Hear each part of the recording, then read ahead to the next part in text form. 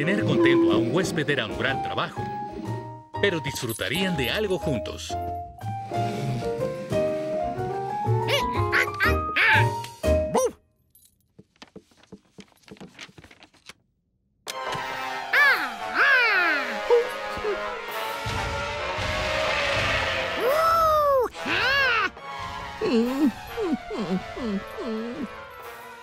A Hundley no le gustaban los monstruos. Tal vez ese número era el de su canal favorito.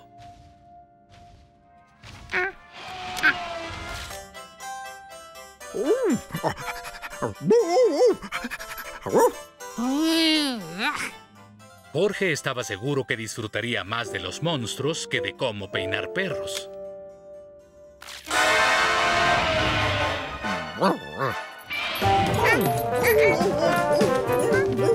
Jorge, ya sabes que no puedes ver programas de monstruos en la noche. Tienes pesadillas y... ¡Ah! ¡Ah! ¡Ah! ¡Ah! ¡Ah! ¡Ay! Oye, se parece al departamento de Honley. Ah, entiendo. Así se sentirá en casa. Muy bien, Jorge.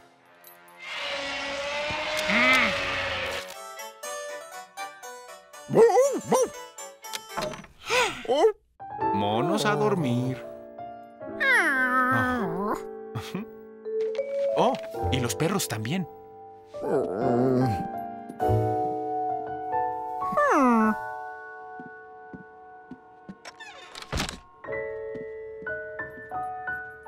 Hundley no entendía cómo había llegado ahí su ratón.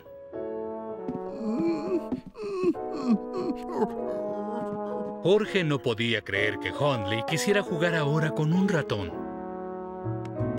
Pero era muy tarde.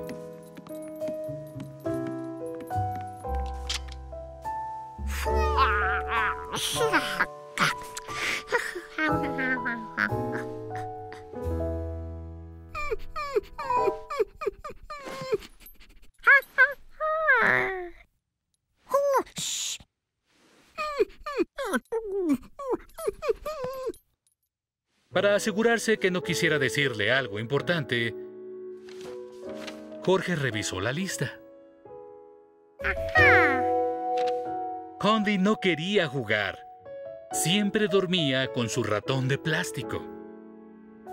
El ratón le ayudaba a dormir y a ahuyentar las pesadillas. Hundley estaba feliz de tener un amigo como Jorge que se levantara para aventar su ratón por el balcón.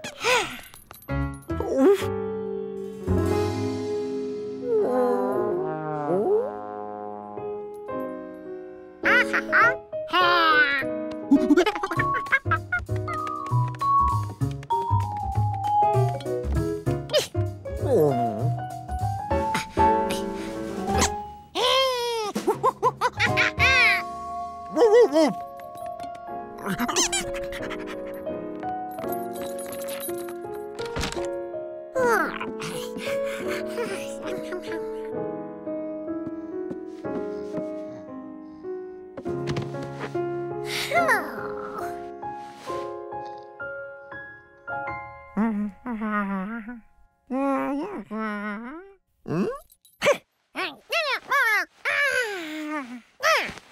Hundley sabía que Jorge tenía una pesadilla y que no tenía un ratón de plástico.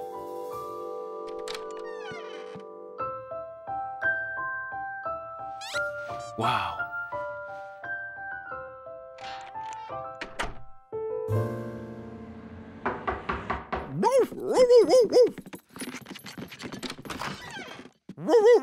Hola, Honley. ¿Cómo estás, amigo? ¿Causó problemas? Para nada, ¿o sí, Jorge?